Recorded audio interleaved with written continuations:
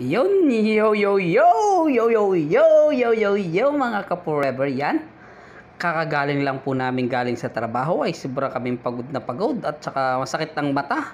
Saka tututok sa malaking TV, sa computer. Ay kami bago umuwi ay nagkikrave kaming magkakasama sa sasakyan dito sa shawarma. Ay hindi po nakatiis ang aming financier si Melody kaya kami ay dinaan din, din eh makikita nyo ng live na live kung paano po ginagawa yung napakasarap na shawarma dito sa Saudi Arabia, dito sa Alcobar. Malapit lang po, beside Aramania. Yan. Yan po, nilagyan na ng damo, hinalo-halo. Yan. Halo-halo, halo-halo. Yan, kita nyo naman po. Live na live po yan. Pumayag pong magpa-video yung nag, uh, nag uh, gagayat ng shawarma at gusto rin daw po siyang makita sa TV. I-send ko daw sa kanya yung kuhan. Link para mapanood din daw po niya. Yan. Yan po. Nahalo-halo na. Kumuha siya ng kabos. Yan. Hinati niya sa gitna. Yan o. Nilagyan ng puti. Garlic sauce. Yan. Yan po. Pinaghalo-halo. Nilagyan din ng french fries. Bagong luto yung french fries. Yan. Nilagyan na po ng mga halo-halong ulam. Yan. Tapos, yan. Nilagyan din po yan ng Nilagyan din po yan ng, ng uh, chili sauce at saka ketchup para lalong masarap. Apat po yung aming in-order. Yan. Yan. Nilagyan na naman. O ha. French fries, halo-halong ulam, may damo. Masarap po yan. Talagang press na press ang luto niyan. Yan. Ketchup, chili sauce. Ay, ang sarap na po niyan. Grabe. dinner ko na ho yan. Dinner ko na sa gabi. Ano? Tingnan naman. Malinis din po yan. Malinis. Talagang may baladiya yan. Pag hindi malinis ay siya. Yari sila sa baladiya. Yan po yung mga lahok nila. Yan. French fries. Yan ang ginayat-gayat na ulam. Mainit po yan. Press na press. Mainit. Bagong luto. Kita nyo yung nagbabagang yung kulay orange na yan sa likod ng shawarma.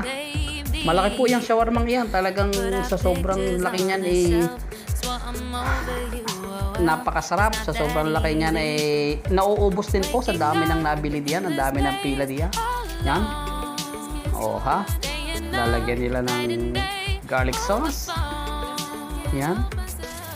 Yan. French fries. Ang sarap. Oh ketchup.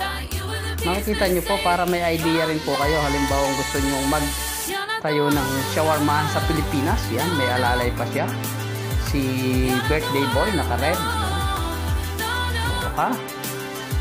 Hmm, apat yung aming in-order para kay It's Melody, kay Sir Niel, Tihomi, at saka kay, kay Boss Gerson Roma. Yan. Oh, ha? Ubo, sakto lang po sa apat yung kanyang ginayat-gayat. Yan, nilagyan ng shawarma. Yan. Okay. Yan, binabalot-balot.